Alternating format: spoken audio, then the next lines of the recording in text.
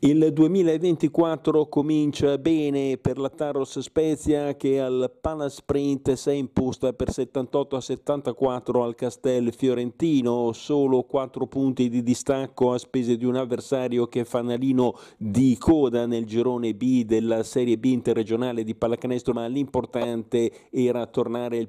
quanto prima eh, possibile al successo e i tarosiani ci sono riusciti. Ora non rimane che recuperare anche il lungo degente Rajacic, si spera di poterlo fare già nel prossimo impegno nel weekend a venire ad Arezzo contro l'Amen. Siamo felici ovviamente di essere ritornati alla vittoria dopo qualche giornata di difficoltà dovute ai tanti infortuni, diciamo, degli elementi principali, dei componenti principali della squadra, in particolare è rientrato Sakalas, la nostra ala lituana che ci ha aiutato molto e grazie a lui siamo, sono convinto che riusciremo a, a, ritornare ai livelli di inizio campionato. Adesso ovviamente aspettiamo anche Rajacic che a breve dovrebbe essere di nuovo dalla partita. Sicuramente ora dimostreremo diciamo, nelle prossime partite quanto valiamo a differenza delle ultime, delle precedenti tre giornate dove ovviamente le assenze, soprattutto a livello fisico, si sono fatte molto sentire. Non è andata altrettanto bene invece nel girone nord della Serie A2 eh, nazionale di eh, basket femminile alla cestistica Spezzina sconfitta al Palamariotti di tre punti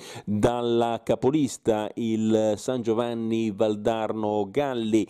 Spezzine al momento ancora centro classifica, ma urge riprendersi quanto prima e allora forse casca a fagiolo la seconda partita interna consecutiva che domenica prossima al Pallamariotti ore 18 vedrà le bianconere ricevere quel San Giorgio Mantova che ha un paio di punti in più.